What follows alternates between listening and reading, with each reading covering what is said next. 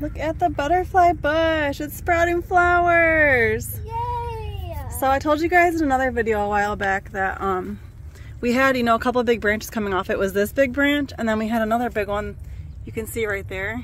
But something broke it. Um, so I was super sad about it and felt really discouraged. I don't have a green thumb, so so I'm, I always get really worried trying to start gardens. But this this gives me promise. This gives me hope. We have a lot of new leaves and branches sprouting up. We have beautiful flowers on the end. Um, it looks like up here we're starting to get some new blooms which might turn into new branches. So I have a good feeling that maybe next summer it's gonna come up pretty awesome. So exciting, look at that. It's beautiful. So I don't know if you guys heard too, but um, monarch butterflies are getting close to being put on the endangered species list. So we're for sure, for sure gonna try to help that. Um, more butterfly bushes will plant on the property next year. I'm gonna put some milkweed all over the property. I'm gonna highly research a bunch of other flowers and plants that they like and I'm just gonna put them everywhere. And we're gonna make our yard be like a beautiful butterfly sanctuary and hummingbird sanctuary. So, yay!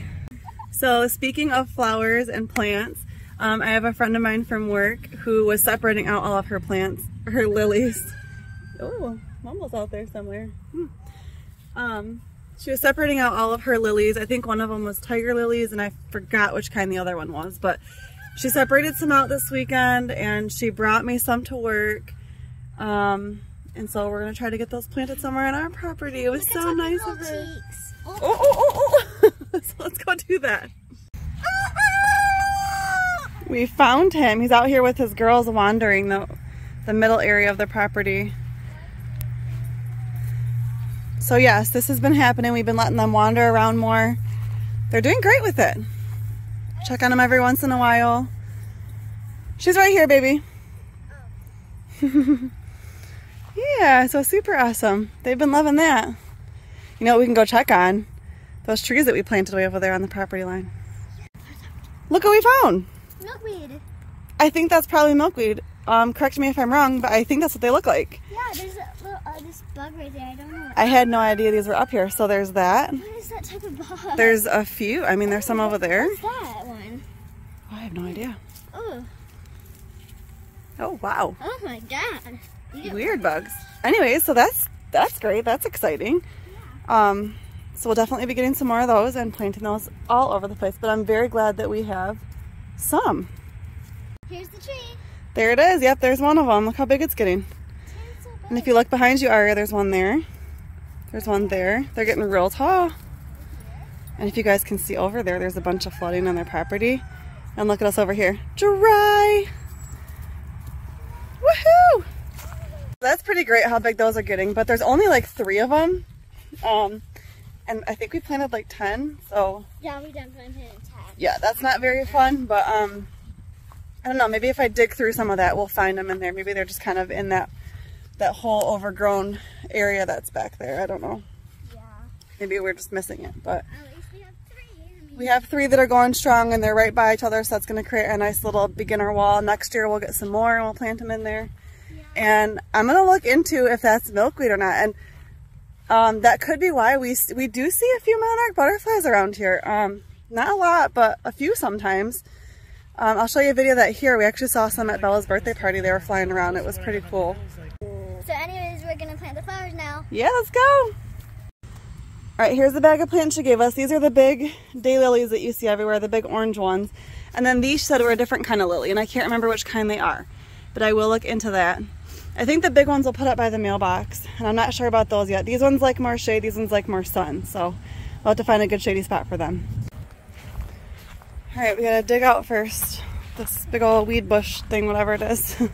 we'll dig that out, and I think I'll do a bunch of lilies lining um, the front of the ditch. Every year we can split them and spread them out. Looking good, Aria. Yep.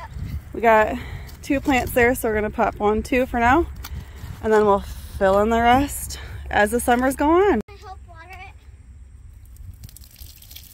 it. Get that butterfly bush water. That's good. How much? Yep. Great job. We're at Whistle Stop Park today. One of Boomer's new favorite places because we just recently started taking him into the dog park, which was our to convince mom. yes, it was Arya's idea. I didn't know how how he would do. I was a little nervous about that. Yeah. We're right now we're just walking over to the doggy park.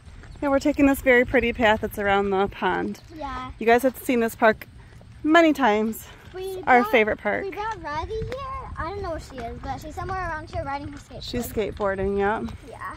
So yeah, anyway, we brought Boomer to the dog park. Um, he's been there three times now, and he's been doing really great, doing really well with the dogs. Um, yeah, just behaves super, super well. I'm proud of him. So it looks like the park has milkweed. I'm pretty sure this is milkweed before it flowers. I think those are the pods that hold the flowers, and those open up to be the milkweed that we have on our property too. So I'm really happy to see that they have it here as well. Here's a doggy park. I love it because they have a spot for them to get a drink. So we don't have to bring stuff to the park.